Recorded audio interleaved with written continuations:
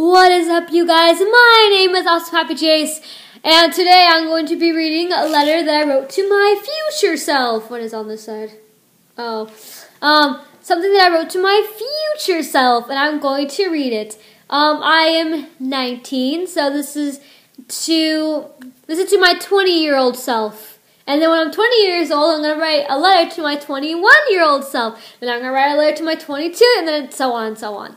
This is what I wrote for my future 20 year old self. Dear 20 year old self, it's me from the past, and by the time you see this video, you will be 20 years old. I am 19 now, and I have done amazing things in 2016. I was in a high school play called Guys and Dolls, where our castmates became our family.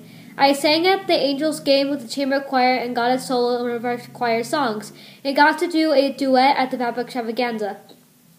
We shall never forget that we went to Comikaze. We met Nate Wants to Battle, AJ from Random Encounters, and Andre from Black Nerd Comedy. And with Acacia and Warner, we met the first Red Ranger, Yellow Ranger from Mega, Force, the Blue Ranger from Dino Charge, the Red Ranger from uh, the Mega Force, and the Red Ranger from In Space. We also met Tara Strong, Rob Paulsen, Jim Cummings, the guy who played Baxter Stockman, and the guy who played Invader Zim in Alpha 5. Don't also forget that we also met the creator of Cyanide and Happiness. Don't forget all the cool things you have done. I hope you're the I hope the future of your dreams comes true. From your 19 year old self.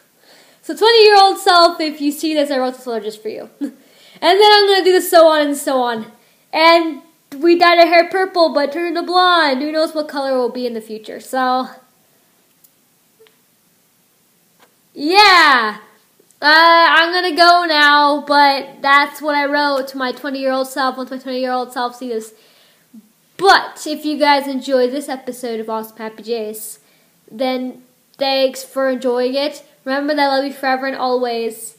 And hashtag 20 year old self in the comments. Okay, bye!